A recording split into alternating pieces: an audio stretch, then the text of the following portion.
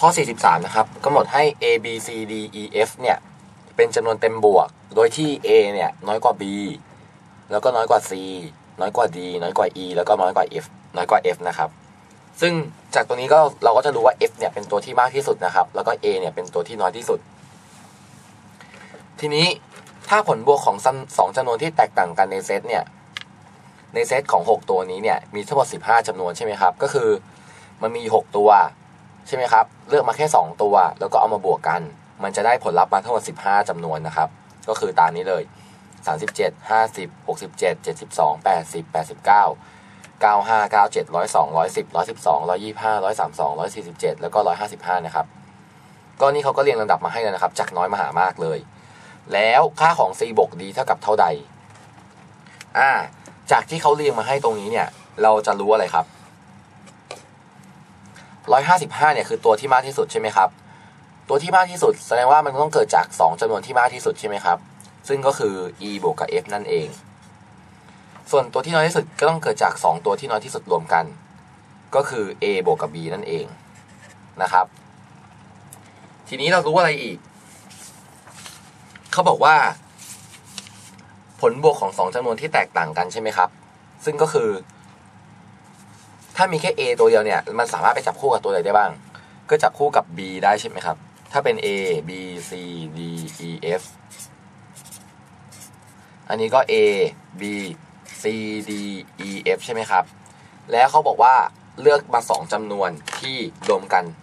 ได้ใช่ไหมครับ ก็ตอนแรกก็ a จับคู่กับ b ได้ a จับคู่กับ c จับคู่กับ d จับคู่กับ e แล้วก็จับคู่กับ f ใช่ไหมครับ ก็ได้ทั้งหมดกี่ตัว a สามารถจับคู่ได้ทั้งหมด 5 ตัวใช่ไหมครับ ส่วน b เนี่ยก็จะไปบวกกับ a ได้ ไปบวกกับ c ได้ ไปบวกกับ d ได้ ไปบวกกับ e ได้ ไปบวกกับ f ได้ b ก็ใช้ทั้งหมด 5 ครั้งใช่ไหมครับ c เนี่ย c ก็บวกกับ a บวกกับ b บวกกับ d บวกกับ e บวกกับ f c ก็ใช้ทั้งหมด 5 ครั้ง ส่วน d ก็บวกกับ a บวกกับ b บวกกับ c บวกกับ e บวกกับ f นะครับ ก็ใช้ 5 ครั้ง ก็ทุกตัวเนี่ยจะใช้อย่างละ 5 ครั้งใช่ไหมครับ ดังนั้นก็คือ 5a ไอตรงนี้ก็คือ 5b 5c 5d 5e 5f นั่นเอง เพราะเกิดจาก f บวกกัน 5 ครั้งนะครับ ดังนั้นก็จะได้ว่า ถ้าเอา 15 ตัวนี้เนี่ยมารวมกันหมดเลยเนี่ย จะเกิดมันเกิดจาก 5a บวก 5b บวก 5c บวก 5d บวก 5e บวก 5f นั่นเองนะครับ ก็เลยได้ว่า 5 ของ a บวก b บวก c อันนี้ดึง 5 ออกมานะครับ บวก e บวก f เนี่ย จะเกิดจาก 37 บวก 50 บวก 67 บวก 72 บวก 80 บวก 89 บวก 95 บวก 97 บวก 102 บวก 110 บวก 112 บวก 125 บวก 132 บวก 147 บวก 155 นะครับ อ่า ก็จะได้ว่าไอ้ก้อนนี้รวมกันเนี่ย เท่ากับ แต่ละตัวเนี่ยใช้รวมกัน 5 ครั้งนะครับ ก็เราต้องรวมก้อนนี้ก่อนนะครับ วิธีการรวมเลขเยอะๆเนี่ยเราก็จะพยายามหาหลักหน่วยที่รวมกันแล้วเนี่ยได้เป็นศูนย์นะครับ ก็อย่างเช่น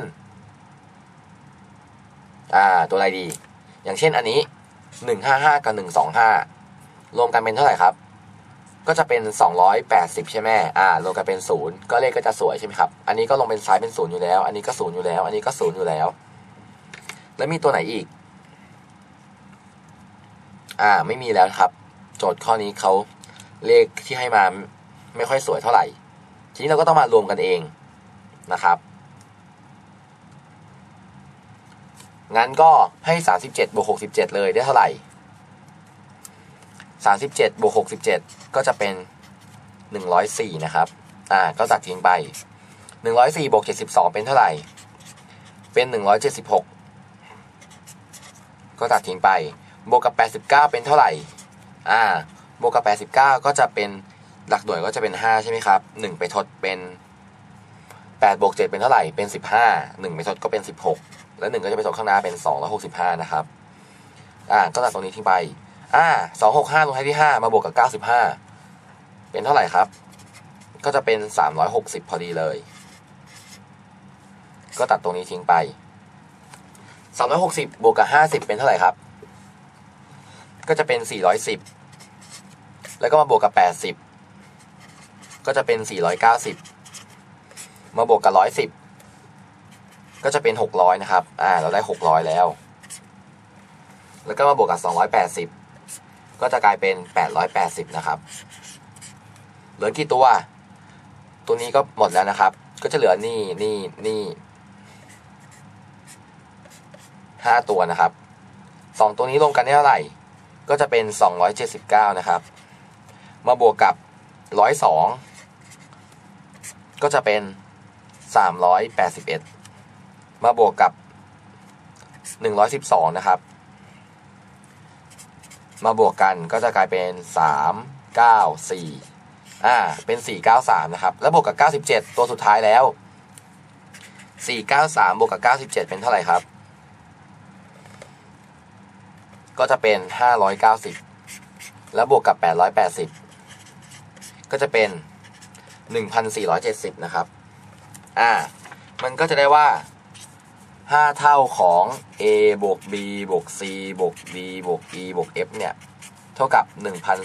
1,470 ก็เอา 5 ไปหารนะครับ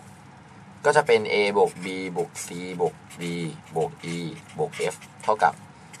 1,470 ส่วน 5 ซึ่งก็คือเท่ากับ